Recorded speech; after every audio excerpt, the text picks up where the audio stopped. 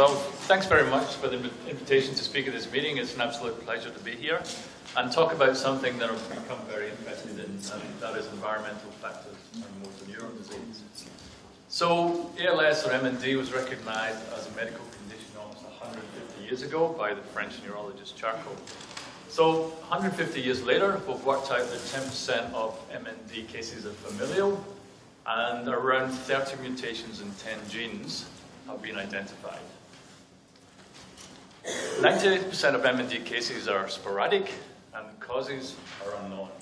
So 150 years later, environmental risk factors are still largely a mystery. So why? Why do we know so little about them? Well, it's complicated. A huge number of factors could be involved. So when you're looking at genes, you're looking at a finite number of genes. When you're looking at environmental factors, you're looking at pretty much an infinite amount of uh, possible possibilities. So, fascinating talk earlier on, endogenous viruses. Smoking, stress, mobile phones, air pollution, electromagnetic fields, algal blooms, heavy metals have all been, been implicated. And in many cases, there is some evidence supporting them. Another problem is there could be a critical time of exposure.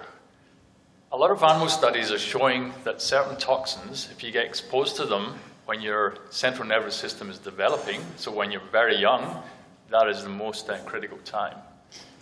It's also possible that you need exposure to multiple factors.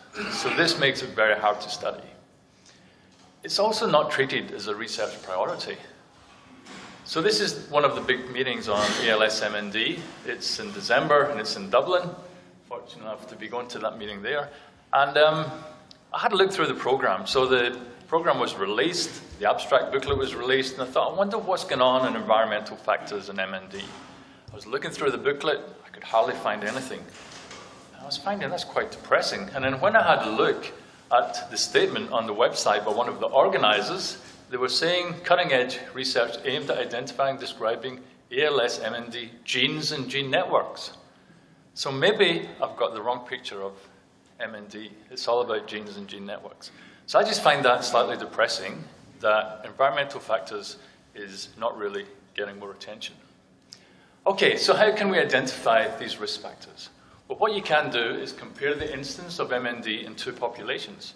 So, for example, as Carol said, you can take males, you can take females, work out the incidence of MND in these populations, and overall it's 60 40 male to female. So these observational studies are done on specific environmental factors. They tend to be small, they often show trends, and can be a bit inconclusive, sometimes even contradictory. But what you can do is pull them all together. So you can perform a meta-analysis by combining the data from many of these smaller studies, and then you can generate something that is more powerful and more believable. So this was something that came out uh, last week, I think, so it was basically um, a paper in neurotoxicology. And what they did was they did a meta-analysis on a lot of these environmental factors, and it was pretty interesting data. So how do you do that? Well, for example, heavy metals. Compare the incidence of MND in individuals with an occupational history of exposure to heavy metals. You compare that to the general population and work out if it's, there's evidence that it's a risk. So this is what it looks like. All you really need to think about is anything on this side favors risk factor, anything on this side favors controls. So any of these points, if they're on this side, it would be protective. So here we've got um, exposure to lead. The first thing is not that many studies. First one in 70, probably every 10 years someone has a look at it. This one is exposure to heavy metals in general.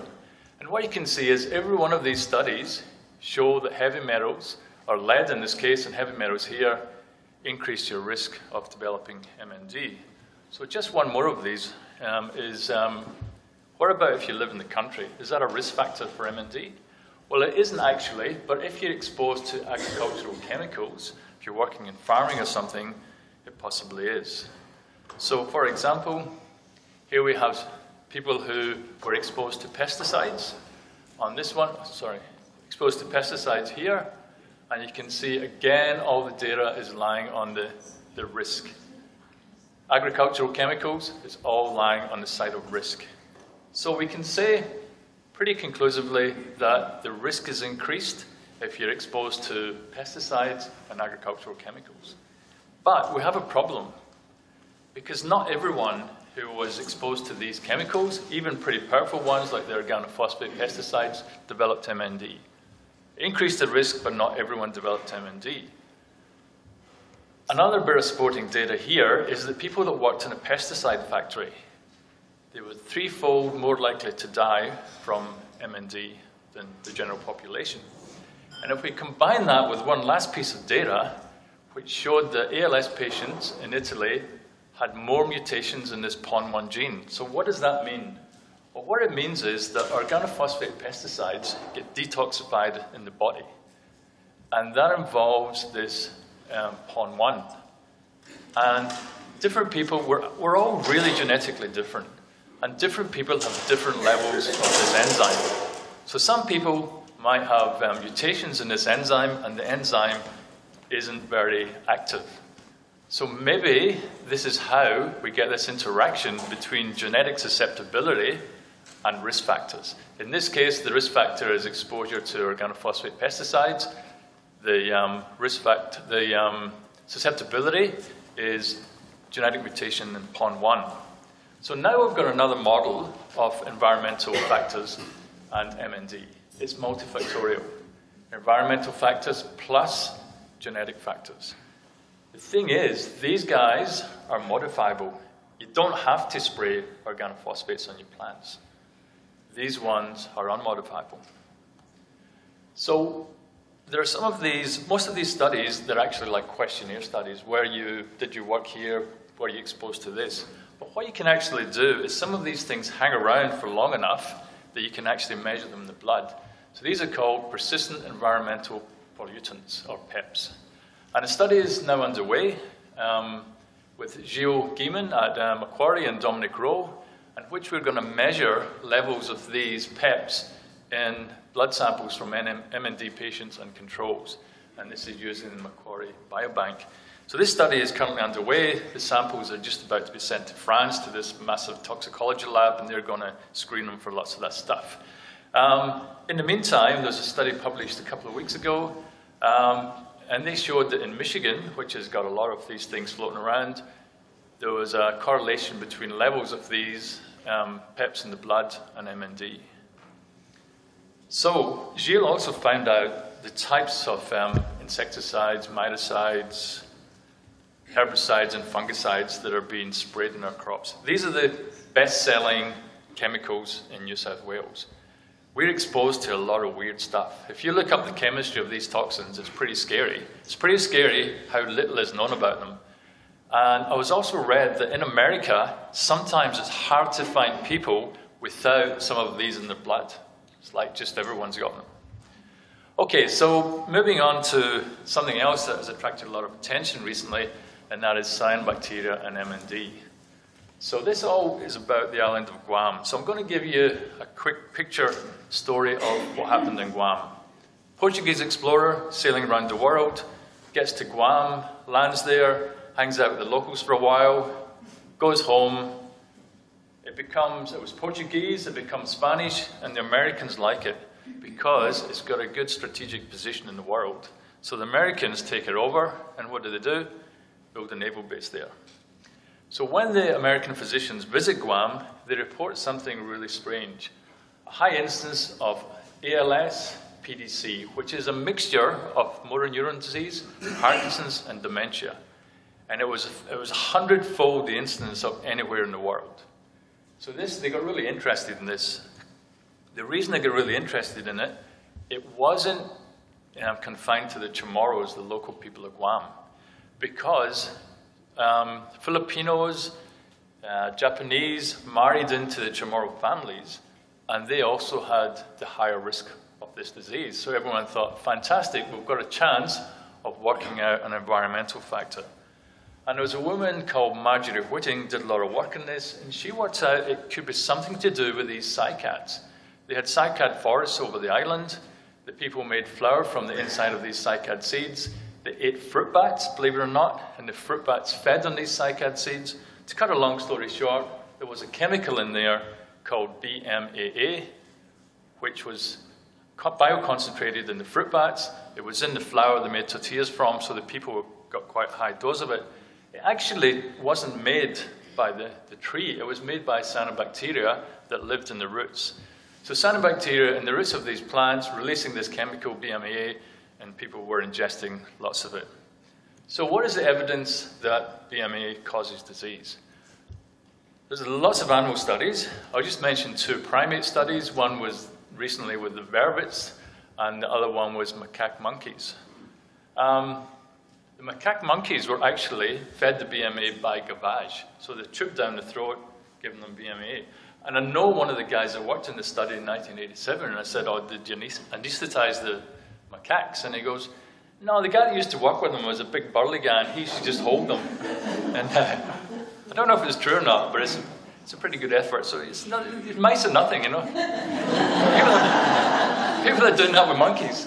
Yeah. But the other one, the recent one that Paul Cox did, he actually put the BMA in bananas and uh, fed it to the, the, the, monkeys that way. Anyway, so both of these um, primate studies, behavioral or histological changes consistent with neurodegeneration. The Cox one was pretty interesting because it looked a little bit like Alzheimer's and it looked like MND as well. The other bits of evidence are hotspots, hotspots of um, MND around specific regions a lot of work in the USA around about lakes with algal blooms in New Hampshire, and some in France linked to consumption of mussels. Mussels, filter feeders, they just filter all these things out of the water. Um, the other bit of evidence is mechanisms identified. The weird thing about the Guam disease, people went from Guam to America, developed the disease 20 years later on average. So there was something was ticking away that wasn't manifest. So that's why we're interested in this protein misfolding and ER stress. There's a group in Germany also done it, excitotoxicity, metal binding. So lots of possible mechanisms. So I just want to talk about something else we're doing is we're trying to monitor the environment in New South Wales for BMAA. And I'm just going to give you a quick bit of chemistry because it's pretty fascinating. After two days of sample preparation, you end up with a whole load of small molecules that are derivatized or tagged. You put them on this column, some of them just zip through the column really quickly in the solvent. Some of them interact with the column and get slowed down. So you can separate all these molecules. Then come into the mass spec. The mass spec can actually select specific molecular weight. So this will only examine as chemicals of this molecular weight. They then go into this fragmentation cell where it blows them apart and you get fragments. So that you can actually ID all of these molecules. So these molecules are really, really similar. The isomers same molecular weight, same atoms arranged in a different way, but got different fingerprints. So what we've been doing is analyzing cyanobacterial samples from around Australia, and we can see they all contain BMA, they all contain, or three out of four contain DAB, and a couple of contain AEG. And these peaks you see here are when they come off that column in different times, and you can do the ID on all the fragments. What, I also did, I had a family holiday in Central Australia. I found a few cycad seeds. So I brought them back to Sydney, gave them to one of my students and said, check them out for BMAA. This was the biggest BMAA peak we've ever seen in any sample.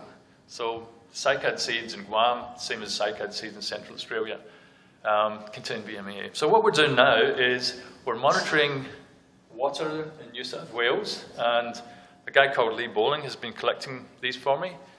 He gave me a ring and said, I'm, I'm downstairs in the car park, I've got some samples for you. Bring down a trolley. So I brought down a trolley. His boot was full of samples. There's, I don't know how many, I haven't even counted them, but basically he's been monitoring them in lakes around New South Wales for two years. So um, we've got a big job to do um, analysing these, but I think this would be the most comprehensive analysis of BMAA anywhere in the world. Considering when we started this, there was only one sample had ever been analysed. We've got carp. They concentrate the BMA in the carp brain, so we can analyze carp brain. We can analyze these little fish called the mosquito fish or um, so we can monitor the Australian environment. Something else we noticed is that BMA and DAB produced by cyanobacteria always occur together. This is a nuisance because it's quite hard to tell them apart. So we're thinking, well, what if these other guys are also toxic? What's going to happen? So what we did is a, a study proteomic study, you take some human neuroblastoma cells, you feed them BMAA or you feed them BMA plus DAB, and you have a look at what's happening. And what we're doing here is a really, really low dose to see. We don't want to kill the cells, we just want to see how they react. And what you do is with proteomics, you can actually analyze 5,000 proteins in the cell on one hit. And you can work out which ones are upregulated and downregulated. So upregulated, downregulated. So BMA alone, a little bit happening, but not much. BMA plus DAB, really, really massive change. And when you analyze what these proteins actually do in the cell, you find, whoa, change the fuel, sorry. I think there's a bit of a, a bit of a um, Mac PC problem, but never mind. The bottom line is, this was pretty scary because so many of these pathways are really already linked to ALS. So oxidative phosphorylation mitochondrial dysfunction linked to ALS, MND. DNA, sorry, DNA damage, um, RNA dysfunction, apoptosis, apoptosis autophagy, ubiquitination, um, protein synthesis, all linked to ALS already. And another one, this one here, EIF2 signaling, was actually something that came out of the Vervet study that was done uh, a couple of years ago. Okay, so where are we with environmental factors and MND? So Al Chalabi has been doing some really good work on this. And this is where we're at, in, in my opinion. You've got genetic susceptibility, you've got age, and you've got multiple environmental factors. So they all contribute to the risk and increase the burden of disease-causing factors that can precipitate disease once a threshold level is reached. So essentially, you get hit with these environmental factors up to a certain point, and that's the threshold point. Al Chalabi did some other modeling studies which were really, really fascinating and worked out you need six hits. So he did this on five separate registers and he got exactly the same data. And when he modeled it, it was linear, so it means it's multifactorial. And when you look at the slope, it told you there was six factors. So that's pretty much where we're at with um, MND and environmental factors as far as I can see. So the take-home message from me is an understanding of the environmental contribution to MND is essential since it's the only easyable modifiable component of the overall risk. So I'd like to thank uh, Cure for MND Foundation Research Grant for funding this, which is the current year, my students, collaborators at um, Macquarie, all my environmental people, and um, yeah, thanks for, uh, for listening.